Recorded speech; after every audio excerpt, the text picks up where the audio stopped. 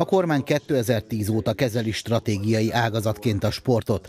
Céljuk, hogy olyan központok létesüljenek, ahol a fővároson kívül is biztosítani tudják a nemzetközi szintű utánpótlásképzést. Megszólításra került a konzorcium keretei között az atlétika sportág, a helyi úszósportszervezet, a judo és a birkózás. Nagyságrendileg 76,5 millió forint támogatásban részesül ez a négy sportszervezet, és örömünkre szolgál az, hogy az elmúlt években olyan sportinfrastruktúra fejlesztés valósult meg itt Zalegerszegen is, amely mind a négy érintett sportágat érinti. Balai Zoltán polgármester rámutatott, noha idén döntöttek az önkormányzati hozzájárulások emeléséről, az egyesületek fejlődéséhez az állami támogatás kulcsfontosságú.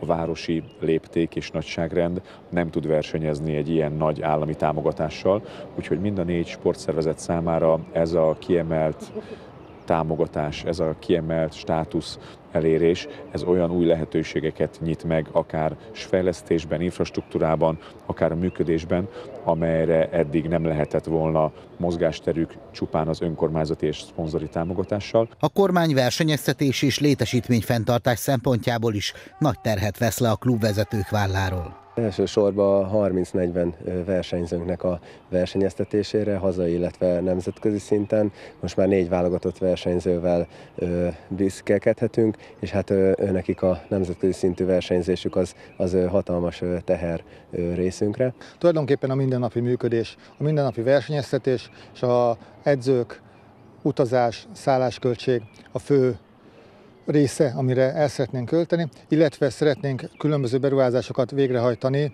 főleg itt energetikai beruházásra gondolok a futófolyosonkon. A program több mint 600 környékbeli mindennapjaiban jelent minőségi változást. Az alegerszegi úszók, atléták, birkózók és judósok csatlakozásával az országos kezdeményezésbe bevont egyesületek száma már közel 40-re emelkedett.